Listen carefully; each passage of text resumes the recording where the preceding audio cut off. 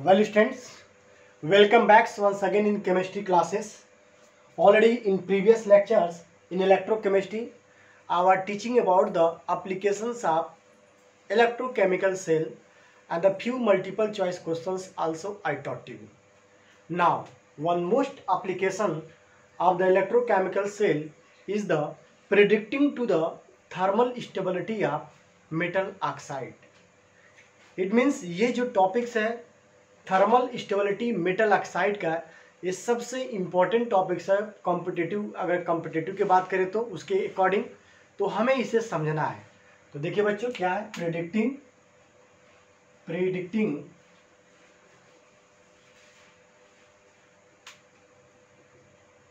thermal stability thermal stability of metal oxide ये आपका ECS का एक इम्पोर्टेंट या एप्लीकेशन कर सकते हैं। तो देखो बच्चों, अगर मेटल ऑक्साइड का अगर स्टेबिलिटी का बात करें, मान लो ये मेटल है, इस पर प्लस चार्ज है और ऑक्साइड पर माइनस है। इसके बीच में जितना इंट्रैक्शन होगा, जितना आयनिक बॉन्ड जितना स्ट्रांग बनेगा तो ज़ाहिर सी बात है इनके बीच जितना स्ट्रांग बॉन्ड बनेगा तो इनके बीच स्टेबिलिटी भी क्या होगा? ज़्यादा बढ़ेगा। और ये कम टेम्परेचर पर जल्दी डिकम्पोज नहीं होंगे, यानी इनका स्टेबिलिटी सबसे ज़्यादा होगा। इसमें एक पॉइंट है थर्मल स्टेबिलिटी इसका मतलब क्या होता है? बहुत सारे बच्चे कन्फ्यूज़ इसका मतलब क्या है भाई? थर्मल स्टेबिलिटी का मतलब कोई भी substance I am not talking about only metal oxide कोई भी सबस्टेंस जितने अधिक टेम्परेचर पर डिकम्पोज ना हो स्प्लिट ना हो तो हम बोल सकते हैं उसका थर्मल स्टेबिलिटी क्या बहुत ही ज़्यादा है। समझ, जैसे मान लो ये मार्कर है। ये मार्कर मान लीजिए फाइव डिग्री सेल्सियस पर डिकम्पोज होकर अलग हो जाए, दो बार, ठीक है? और एक और इंस्ट्रूमेंट लिए जैसे मान लीजिए मेरा पेन इसको हंड्रेड डिग्री सेल्सियस पर हीट कर रहा है, तभी नहीं डिकम्पोज हो रहा है। तो हम दोनों में क्या बोलेंगे? इसका थर्मल स्टेबिलिटी क्या है? इस मार्कर से बहुत ज़्यादा है।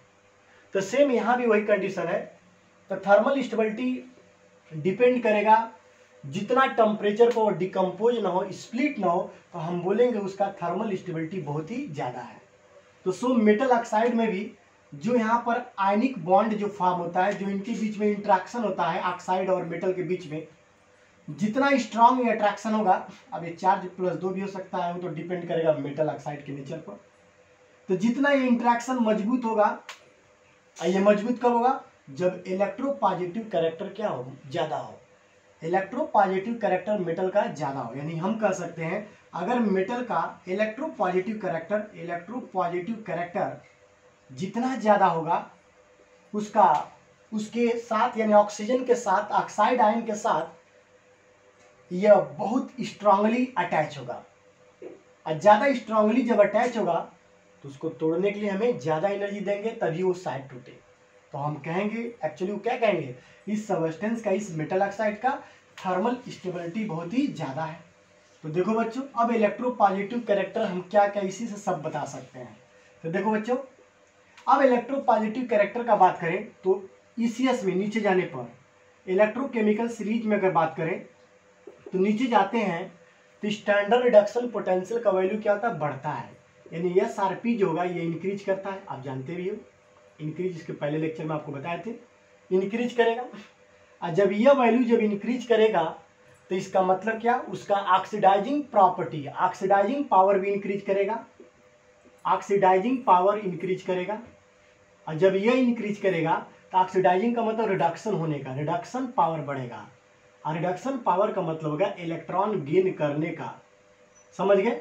और जब इलेक्ट्रॉन गेन करने का पावर बढ़ रहा है तो इलेक्ट्रो पॉजिटिव बढ़ेगा नहीं बल्कि क्या होगा? घटेगा। सो so, हम लिख सकते हैं यहाँ electropositive character electropositive character decreases क्या होगा बच्चों? डिक्रीज होगा। यानी जो सबसे ऊपर मेटल होगा इस सीरीज़ में या जिसका यह सार्पी सबसे कम होगा उसका इलेक्ट्रो पॉजिटिव कैरेक्टर जिसका कम उसका सबसे ज़्यादा। जिसका इलेक्ट्रो पॉजिटिव कैरेक्टर ज़्यादा होगा तो वो मेटल के साथ मतलब ऑक्साइड के साथ स्ट्रांगली अटैच होगा। तो ज़ाहिर से बताओ उसका थर्मल स्टेबिलिटी भी क्या होगा? ज़्यादा होगा। क्लियर सो हम हम लिख सकते हैं। यहाँ देखें इलेक्ट्रो पॉजिटिव कैरेक्टर डिक्रीज किया। तो क्या इंक्रीज करेगा? इलेक्ट्रोनिगेटिव करेक्टर थोड़ा बहुत बढ़ेगा। और जब इलेक्ट्रो पॉजिटिव करेक्टर डिक्रीज करेगा तो उसका थर्मल स्टेबिलिटी उस मेटल का जिसका इलेक्ट्रो पॉजिटिव करेक्टर डिक्रीज हो रहा है उस मेटल का ऑक्साइड का थर्मल स्टेबिलिटी भी क्या होगा? डिक्रीज होगा। क्लियर स्टूडेंट तो बहुत सिंपल फंडा है, बहुत सिंपली आप समझ सकते हो। एसआरपी मेटल का बढ़ने पर इलेक्ट्रो पॉजिटिव करेक्टर घटेगा। और जब इलेक्ट्रो पॉजिटिव करेक्टर घटेगा तो जो मेटल और ऑक्सीजन के बीच में जो बॉन्ड होगा, उसका स्टेबिलिटी भी घटेगा। और जब वो घटेगा तो थर्मल स्टेबिलिटी भी क्या होगा? घटेगा। इसीलिए जो ऊपर के जो मेटल्स होते हैं जैसे आपका सोडियम, लिथियम, कैल्शियम, मैग्नीशियम, इनके जो ऑक्साइड होते हैं, जैसे एन आपका K O K two M G O C O इनके जो ऑक्साइड होते हैं, जल्दी ये डिकम्पोज नहीं होते, इनका थर्मल स्टेबिलिटी सबसे ज़्यादा होता है। क्यों? क्योंकि इसका एस आर पी क्या होता है? सबसे कम होता है, सबसे लिस्ट होता है। और जिसका एस आर पी सबसे कम होगा, इसका मतलब उसका इलेक्ट्रो पॉजिटिव करेक्टर ज़्यादा होगा। और जब इलेक्ट्रो पॉजिटिव करेक्टर ज़्यादा होगा तो उस उसका थर्मल स्टेबिलिटी भी क्या होगा? सबसे ज़्यादा होगा, सबसे सिंपल इसीलिए एचजीओ या सिल्वर ऑक्साइड या कॉपर ऑक्साइड यह आसानी से डिकम्पोज हो जाते हैं। इनका थर्मल स्टेबिलिटी सबसे कम होता है, क्योंकि इसको हीट करते हैं तो ये अलग हो सकता है। कॉपर अलग ऑक्सीजन अलग ये जी अलग ऑक्सीजन अलग गैस के रूप में इस तरह सिंपली सेपरेट हो सकते हैं।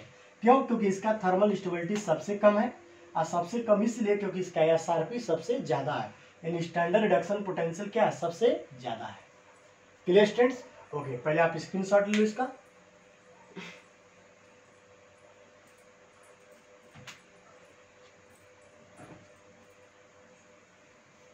स्क्रीन शॉट ले स्टूडेंट्स तो वेल स्टूडेंट्स आपको क्लियर समझ आ गया? तो ये जान लो एस आर एस मेटल का बढ़ेगा। तो उसका electropositive character electropositive जो करेक्टर होगा, वो आपका घटेगा। जितना ज़्यादा ये होगा, उतना कम होगा। इलेक्ट्रो पॉजिटिव करेक्टर घटने का मतलब हो गया मेटल और ऑक्सीजन के बीच में जो इंट्रैक्शन है, वो वीक होगा। यानी इंट्रैक्शन इंट्रैक्शन जो होगा वीक होगा। इंट्रैक्शन भी क्या होगा? वीक होगा। Interaction interaction between metal and oxygen metal and oxygen ये भी क्या होगा बच्चों? डिक्रीज होगा। जैसे देखो, जितना ज़्यादा, जितना यह कम, उतना ज़्यादा। जितना यह कम, उतना ज़्यादा। यानी जितना ज़्यादा, जितना इंटर मालिकुलर इंट्रैक्शन या इंट्रैक्शन बिटवीन मेटल ऑक्सीजन जितना कम होगा तो उसका एस आर पी उतना ही क्या होगा? ज़्यादा होगा। क्योंकि यह कम आएगा तो वैल्यू ज़्यादा आएगा। सिंपली और उसका थर्मल स्टेबिलिटी जो होगा एस आर पी बढ़ने पर थर्मल स्टेबिलिटी क्या होगा? डिक्रीज होगा। यानी ये भी लिख सकते हैं थर्मल थर्मल स्टेबिलिटी ये आपका हो जाएगा? थर्मल स्टेबिलिटी जितना ज़्यादा एस आर पी या जितना कम थर्मल स्टेबिलिटी उसका एस आर पी उतना ही ज़्यादा. तो ये सिंपल एक तरीका है समझने का. इसीलिए जो सोडियम ऑक्साइड है कैल्शियम ऑक्साइड है मैग्नीशियम ऑक्साइड है पोटेशियम ऑक्साइड है, इनको हीट करने पर नो डिकम्पोजिशन ये डिकम्पोजिशन जल्दी नहीं करता है. क्यों भाई? क्योंकि इसका थर्मल स्टेबिलिटी ज़्यादा है। क्यों है? क्योंकि इन मेटलों का एसआरपी बहुत ही कम है। जिसका एसआरपी कम, उसका इलेक्ट्रो पॉजिटिव करेक्टर ज़्यादा लेकिन वही अगर बात करें हम सिल्वर ऑक्साइड मरकरी ऑक्साइड अगर इसको हीट करें तो ये डिकम्पोज होकर सिल्वर ऑक्सीजन गैस और मरकरी देगा। क्यों? क्योंकि इनका एसआरपी ज़्यादा है। आई एस ज़्यादा है तो इलेक्ट्रो पॉजिटिव करेक्टर कम। इलेक्ट्रो पॉजिटिव करेक्टर कम तो उनके बीच में जो इंट्रैक्शन है, जो मज़बूत, जो बॉन्ड बन रहा है, वो बहुत वीक हो जाएगा। इंट्रैक्शन वीकर हो जाएगा। इंट्रैक्शन भी कर तो हीट करेंगे, तुरंत वो डिकम्पोज हो जाएगा। ऑक्सीजन अलग और मेटल अलग। तो ये आपका बेस्ट समझ लो टॉपिक्स है, जो इलेक्ट्रोकेमिकल सीरीज़ का एक बहुत बड़ा इंपॉर्टेंट रोल है, या एप्लीकेशन है, जो आपको आना चाहिए। तो आशा करता हूँ आपको समझ आ गया होगा। तो इसका भी स्क्रीनशॉट ले लें बेटर रहेगा आपके लिए।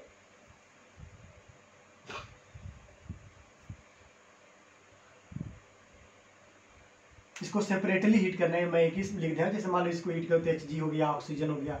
इसको हीट किया तो ए जी हो गया और ऑक्सीजन इसे बैलेंस कर लिया। कोई दिक्कत? ओके प्लीज़ टेक स्क्रीन अब हम जो वीडियो बात करने वाले इसके बाद से जो लेक्चर हुआ है आपका नॉस्ट इक्वेशन नस्ट इक्वेशन हम लोग पढ़ेंगे। तो पहले आप इसका स्क्रीन शॉट लें, तब मैं बता रहा हूँ।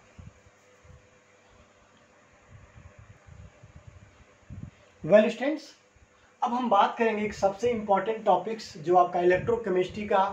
ये सबसे इंपॉर्टेंट टॉपिक्स है और इस टॉपिक से हर साल आपके बोर्ड में सीबीएसई बोर्ड e या कोई भी बोर्ड आई आईसीएसई बोर्ड हो या कोई भी बोर्ड स्टेट बोर्ड हो और साथ ही साथ कंपटीशन में होती एक क्वेश्चन आपके आते हैं। और वह है नस्ट इक्वेशन।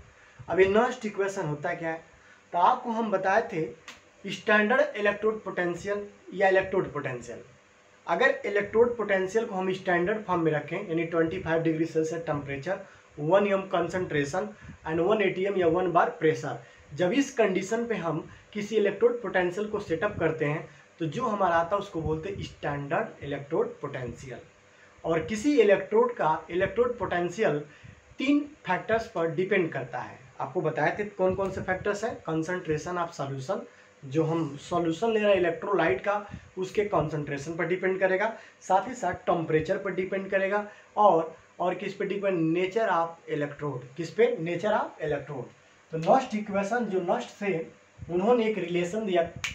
एक रिलेशन दिया। Quantitative relationship he was given quantitative relationship between the concentration solution and uh, temperature of the solution and nature of electrode. At that relationship converted as a form of equation और उस relation को, उस उस relation को एक equation के form में दिए, जिसको हम बोलते हैं नॉस्ट इक्वेशन क्या बोलते हैं बच्चों? नॉस्ट इक्वेशन क्या बोलते हैं बच्चों? एवॉर्ड्स ने नॉस्ट इक्वेशन कहते हैं। इसको effect of electrolytic concentration and temperature on the electrode potential भी कह सकते हैं। क्या कह सकते हैं? इफ़ेक्ट ऑफ़ इलेक्ट्रोलाइटिक इसको लिख दे रहा हूँ, ये भी आप जाने। इफ़ेक्ट ऑफ़ इलेक्ट्रोलाइट, या इलेक्ट्रोलाइटिक, इलेक्ट्रोलाइट बेटर है, electrolyte concentration and temperature temperature on the electrode potential on the electrode potential देखिए, जो मैं बोला, वही लिखा है आपको। देखिए आप क्या? लिखा है effect of electrode concentration and temperature on the electrode potential यानी इलेक्ट्रोड पोटेंशियल पर कंसंट्रेशन का टेम्परेचर का और नेचर ऑफ़ इलेक्ट्रोड का इफ़ेक्ट डाला गया। तीनों तीनों को क्वांटिटिव कह सकते हैं रिलेशन निकाले नस्ट ने और उसे एक इक्वेशन फॉर्म में रखे। अब उस इक्वेशन कैसे? तो देखें नस्ट इक्वेशन दो तरह से फॉलो होता है। एक आपका हाफ़ सेल रिएक्शन के लिए और एक आपका कंप्लीट सेल रिएक्शन के लिए।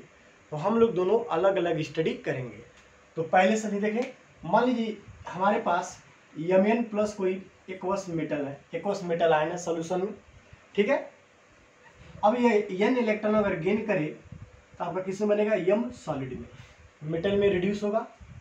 यहाँ रिडक्शन हो रहा है। क्या हो रहा है बच्चों? रिडक्शन ठीक है? अब देखें।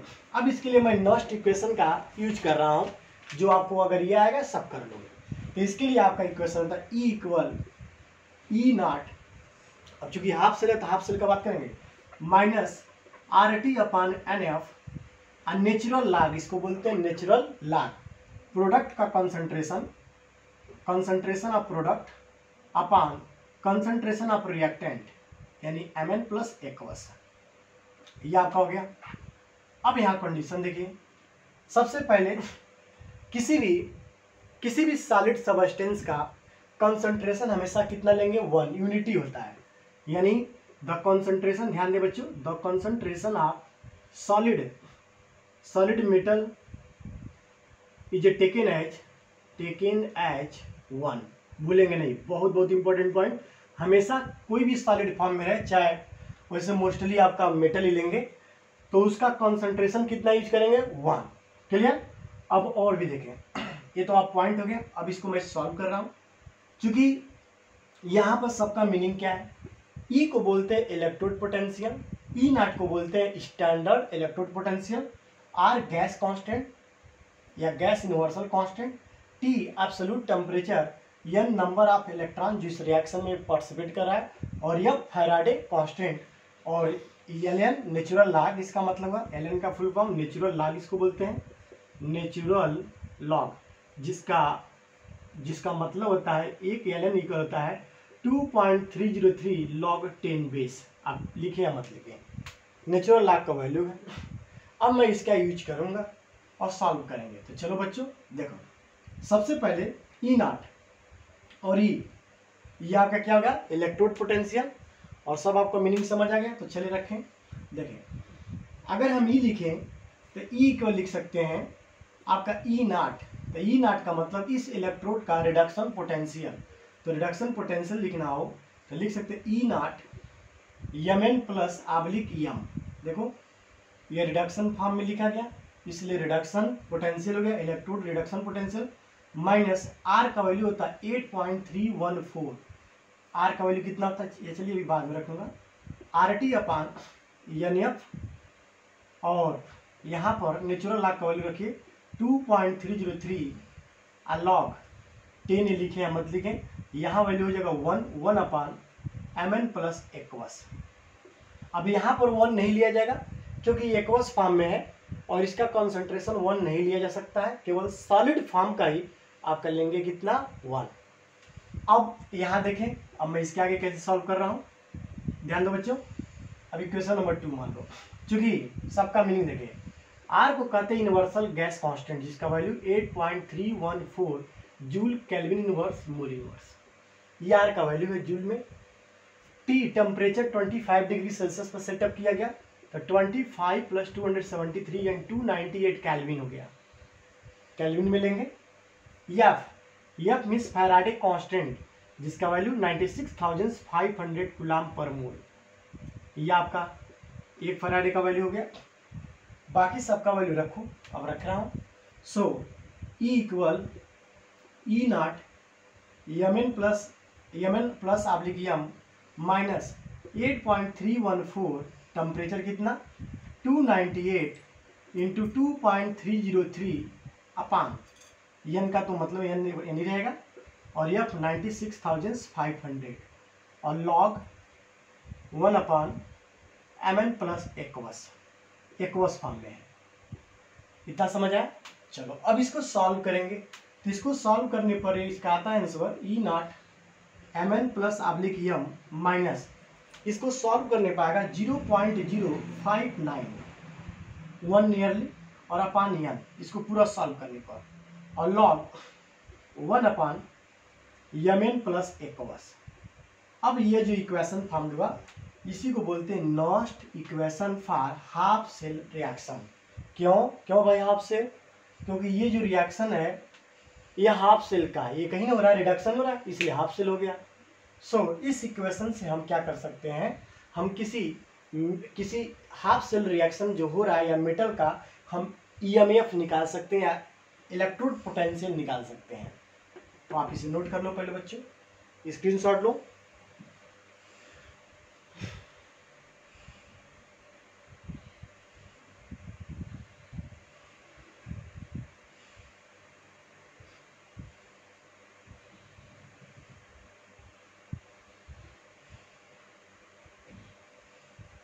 ओके स्टूडेंट्स अब सबका मीनिंग मैं आपको लिख दूँ ताकि आपको समझ आ जाए। देखें। अब यहाँ क्या क्या है? ई e, ई e को बोलते हैं इलेक्ट्रोड पोटेंशियल क्या बोलेंगे बच्चों? Electrode potential of electrode E not standard क्या हो जाएगा? स्टैंडर्ड यूज़ करेंगे। स्टैंडर्ड इलेक्ट्रोड पोटेंशियल यहाँ पर होगा। इलेक्ट्रोड पोटेंशियल अब बात करेंगे यन का? यन क्या है? Number of electron number of electron involve involve in a reaction in reaction मतलब जो रिएक्शन आपका हाफ़ रिएक्शन हो रहा है, चाहे रिडक्शन हो, चाहे ऑक्सीडेशन उसमें कितने इलेक्ट्रॉन पार्टिसिपेट कर रहे हो, उसका नंबर होगा। और क्या बचा है इसमें? और सब तो मैं आपका लिख ही दिया। तो आप इसे नोट कर ले। टी आपका एब्सोल्यूट टेम्परेचर जो ऑलरेडी वैल्यू पुटअप कर दिया गया। तो आप इसे नोट कर ले, इसका भी meaning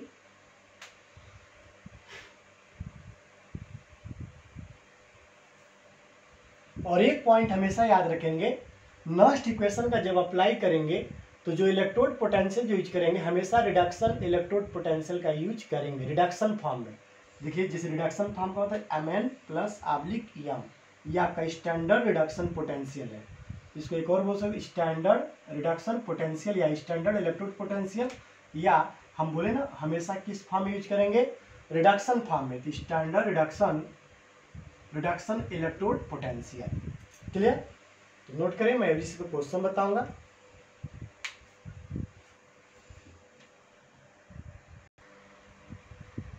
Well students one questions already written related to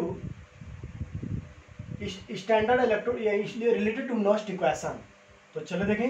calculate the electrode potential यानी हमें इलेक्ट्रोड पोटेंशियल कैलकुलेट करना है। Of a copper wire died in 0.1 M copper sulphate solution तो चलो बच्चों, देखो ये मान लो, ये कॉपर का वायर है। किसका बना है? कॉपर का। और इसमें इसमें जो है 0.1 M copper sulphate solution copper sulphate solution मतलब कॉपर टू प्लस और यह सो फुट टू माइनस होगा। डूबा हुआ है। 25 डिग्री सेल्सियस पर। The standard electrode potential of copper reserve 0.34 दे दिया है। तो हमें यह निकालना है। तो बहुत सिंपल क्वेश्चन है। तो यह कॉपर आयन जो है सॉल्यूशन का यह इलेक्ट्रॉन एक्सेप्ट करेगा और बनाएगा कॉपर में सॉलिड में। यहाँ रिडक्शन हो रहा है। सो so, इसमें देखें इसमें एन का वैल्यू हो गया दो इलेक्ट्रॉन क्योंकि दो भाग ले रहा है। और E not copper two plus oblique copper देखिए copper two plus oblique copper किस फॉर्म में लिखे हैं? स्टैंडर्ड रिडक्शन पोटेंशियल फॉर्म में, जिसका वैल्यू दिया 0.34 पॉइंट वोल्ट गिवेन ओके अब आपका कॉपर आयन का कॉन्सेंट्रेशन कॉपर आयन का जो कॉन्सेंट्रेशन है, आपका दिया है 0.1 एम जैसे कॉपर सल्फेट का दिया है ना तो जब इसको तोड़ेंगे तो कॉपर भी और सल्फेट दोनों तो इसका भी ज़ीरो पॉइंट वन इसका भी ज़ीरो पॉइंट वन तो हमें इससे मतलब है। Zero point one M temperature से कोई मतलब हम टेम्परेचर का यूज़ करके आप देखें। So E equal E not copper two plus oblique copper minus zero point zero five nine one भी लिख सकते हैं, चाहे तो एन और लॉग प्रोडक्ट अपॉन रिएक्टेंट यानी copper solid upon copper aqueous ये आपका इक्वेशन बनेगा। अब इस इक्वेशन में क्या करिए, आप वैल्यू पुट करें, आ जाएगा। ई e आपका क्या है? इलेक्ट्रोड पोटेंशियल क्या है? Electrode potential so E equal इसका वैल्यू देखिए zero point three four minus zero point zero five nine N N value two into log copper solid value 1 and copper 2 plus iron concentration 0.1 clear students अब इसे solve कर दें। तो देखिए कैसे solve करेंगे? E equal zero point three four minus divide करिए। Zero ये भी ज़ीरो होगा। टू टू जा फोर कैरी वन नाइनटीन यानी नाइन टाइम अट्ठारह बार, दोनों अट्ठारह और एक आपका बचेगा, यानी फाइव और देखें ज़ीरो हो गया, दो दुना चार, एक बचा, उन्नीस, दोनों अठारह एक बचा ज़ीरो तो आपका टू फाइव जो टेन ईयरली आएगा zero point zero two nine five ये आपका आएगा सॉल्व करने पर। अब इसे क्या करें? अब इसे देखें बच्चों। इनटू लॉग अगर इसे हम टेन अपॉन वन लिखे लिख सकते हैं लॉग टेन अपॉन वन तो लॉग टेन मतलब और लॉग टेन का वैल्यू वन होता है। लॉग टेन वैल्यू आपका वन होता है। और आप चिंता मत करेंगे। कोई भी क्वेश्चन में लॉग जो भी वैल्यू क्वेश्चन में रहता है, उसका वैल्यू दिया रहता है। तो आप उसको सॉल्व कर सकते हो। सो अब इसको सॉल्व करें। Zero point three four minus zero point zero two nine five. अब इसमें से इसको सब्ट्रैक्ट करिए। तो देखिए सब्ट्रैक्ट करें। देखिए, कितना आंसर आ रहा है इसका? सब्ट्रैक्ट करने पर आएगा। Zero point three one zero four. Zero point three one zero four five volt. यानी इसका इलेक्ट्रोड पोटेंशियल जो होगा, वो आपका zero point three one zero four five volt होगा। ये आपका कॉपर का, यानी कॉपर इलेक्ट्रोड का इलेक्ट्रोड पोटेंशियल हो गया। क्या हो गया बच्चों? कॉपर का कॉपर इलेक्ट्रोड का electrode potential zero point three one zero four five volt तो सिंपल क्वेश्चन है। ओके इसे आप स्क्रीनशॉट लो बच्चों।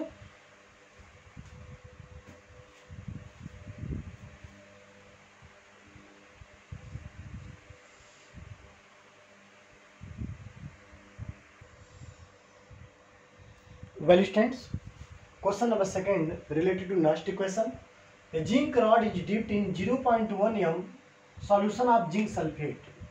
तो मान लो ये जिंक एक रॉड है, जो Z N S four solution में डिजॉल्व है, जिसका कॉन्सेंट्रेशन 0.1 एम दे दिया है। The salt is 95 percent dissociated यानी साल्ट जो है केवल 95 परसेंट डिसोसिएट हो रहा है। यानी अगर हम जिंक सल्फेट पे आना है कि जेडन टू प्लस या सोफोर टू माइनस तो ये केवल 95 परसेंट डिसोसिएट हुआ। तो मान लो अगर ये 100 परसेंट है इनिशियली तो इसका 95 परसेंट इसका जो कंसंट्रेशन होगा, इस कंसंट्रेशन का 95 परसेंट होगा। अगर इसका कंसंट्रेशन कितना रहेगा चलिए भाई 0.1 तो ये कितना डिसो 95 परसेंट डिसोसिएट हुआ। तो जब 95 परसेंट होगा तो जिंक आयन का जो कंसंट्रेशन होगा वो 95 परसेंट इस कंसंट्रेशन का होगा। सो so, लिखेंगे the concentration of zinc ion equal 0.1 M का 95 percent zero point one M का 95 percent so 0.1 point one into ninety five upon hundred कर देंगे।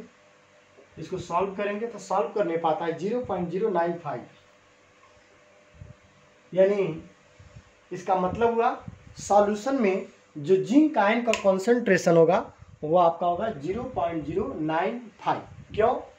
क्योंकि जिंक सल्फेट कितना आयनाइज हो रहा है? नाइन्टी फाइव परसेंट और जिसका initial concentration zero point one M तो इसी का नाइन्टी फाइव परसेंट आ गया। अब देखें, अब जिंक आयन जो है इलेक्ट्रॉन एक्सेप्ट करेगा और जेडन बनाएगा। ये रिडक्शन में लिखा गया। क्योंकि मैं आप इससे पहले मैं बता चुका हूँ भाई applying Nernst equation electrode potential is always taken taken as a reduction potential.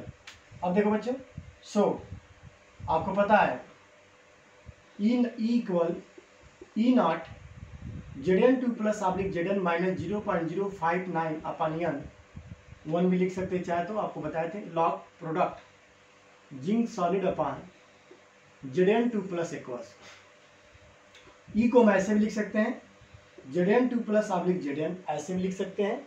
आप कंफ्यूज मत होंगे। जब इस पर नॉट लगा हो तो वो आपका स्टैंडर्ड फॉर्म हो जाएगा और ये नहीं है, केवल इलेक्ट्रोड पोटेंशियल होगा। इसका वैल्यू कितना दिया है? ये माइनस में देखो बच्चों minus zero point six seven volt minus zero point zero five nine one और एन का वैल्यू कितना है बच्चों? दो लाख। इसका वैल्यू वन और इसका value zero point zero nine five. Clear? अब सॉल्व करिए।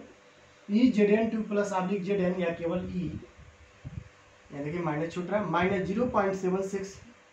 Two से डिवाइड करो। ज़ीरो ज़ीरो टू आपका टू आएगा। वन नाइन आपका nine times eleven five times five times और इंटू लॉग अब यहाँ देखिए। यहाँ लिखना चाहे लिख सकते हैं वन थाउज़ेंड अपान क्या? Ninety five. क्या लिख सकते हैं? क्या बच्चों, देखो तो। वन थाउज़ेंड अगर मैं वन, टू, थ्री हटाऊँगा, पॉइंट इधर करूँगा डेसिमल तो यहाँ तीन ज़ीरो बढ़ेगा। तो one thousand upon ninety five. अब इसको सॉल्व करो। Minus zero point six seven six seven six equal zero point zero two nine five five into अब इसको लाग यम पावर यन आप पढ़ोगे लाग यम पे M upon N equal log M minus log N तो मैं इसका use करूँगा। और चूँकि वन थाउजेंड्स को मैं लिख सकता हूँ टेन टू पावर थ्री तो चलिए रखिए log ten one thousand sorry one thousand minus log ninety five clear इसको आप पहले स्क्रीन शॉट लो। स्क्रीन शॉट लो, बच्चों। ओके अब आगे देखिए कैसे सॉल्व होगा। अब ये है। यहाँ देखिए। E Z N two plus oblique Z N equal minus zero point seven six minus zero point zero two nine five five into log one thousand का मतलब log ten to power three और log ten to power three means log M power N log M so three इधर कर देंगे। Three into क्योंकि लाग अब लिखा है वन थाउज़ेंड तो इसको हम लिख सकते हैं लाग लिख सकते हैं क्या? Left ten to power three इसका मतलब थ्री लाख क्या हो गया? टेन लाख टेन का वैल्यू वन चलो मैं लिख रहा हूँ three log ten minus log ninety five का वैल्यू दे दिया क्वेश्चन में 1.977 मैं इसको रख दिया, एक और सेवन है। अब इसको सॉल्व किया जाएगा। E Z N two plus oblique Z N equal minus zero point seven six minus zero point zero यहाँ देखिए टू छोटा मोटा नहीं है ना? अच्छा नहीं टू से डिवाइड कर देगा। Two nine five five into three minus one point nine seven seven seven ये आपका आएगा अब इसको सब्ट्रैक्ट करो बच्चों। और उसको मल्टीप्लाई करेंगे। थ्री में से सब्ट्रैक्ट करेंगे तो सब्ट्रैक्ट करने के बाद आपका आएगा one point zero one point zero two three आएगा। सब्ट्रैक्शन के बाद। अब इसको सॉल्व कर दें। वही आपका आंसर हो जाएगा। So E Z N two plus oblique Z N equal minus zero point seven six minus multiply अब फिर से इसको ऐड करेंगे। माइनस माइनस में माइनस में आंसर आएगा। सो so, जब मल्टीप्लाई करेंगे तो इसका जो आंसर आएगा मल्टीप्लाई करने के बाद zero point zero three three zero two two आपका इसका होगा। आंसर मल्टीप्लाई करने के बाद अब इसमें से आप ए भी माइनस ए भी माइनस दोनों ऐड हो जाएगा। और आपका आंसर किसमें आएगा बच्चों? माइनस में आएगा। और ये आंसर आ जाएगा minus zero point seven nine zero two two volt ये आपका जिंक इलेक्ट्रोड का इलेक्ट्रोड पोटेंशियल होगा। क्लियर तो और सुन लो। ये zinc rod is dived in 0.1 M solution of zinc sulphate the salt is 95 percent ionise तो जब 95 परसेंट आयनाइज होगा तो बताओ बच्चों, जब जिंक सल्फेट आयनाइज तो क्या देगा? Z N two plus.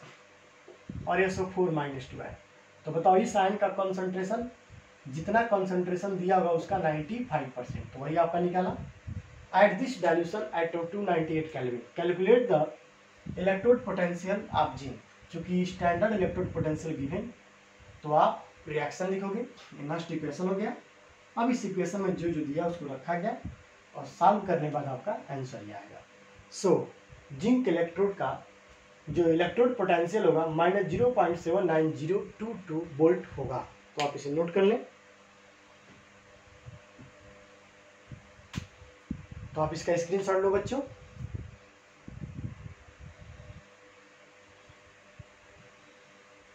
Well students आप इस चैनल को सब्सक्राइब करें शेयर करें और बेल आइकन ज़रूर प्रेस करें। बहुत सारे क्वेश्चंस हैं इस पर नस्ट इक्वेशन पर जो हाफ़ सेल रिएक्शन का, जो मैं नेक्स्ट वीडियो में अपलोड करूँगा। और इसके अलावा, आपको नेक्स्ट जो टॉपिक्स नस्ट इक्वेशन वो वो कंप्लीट सेल के लिए होगा। यानी किसी सेल के लिए नस्ट इक्वेशन कैसे डिराइव करते हैं, कैसे लिखते हैं। तो आप इसे नोट कर लीजिए। नेक्स्ट वीडियो के लिए आप मेरे चैनल को ज़रूर सब्सक्राइब करें। Thank you very much students.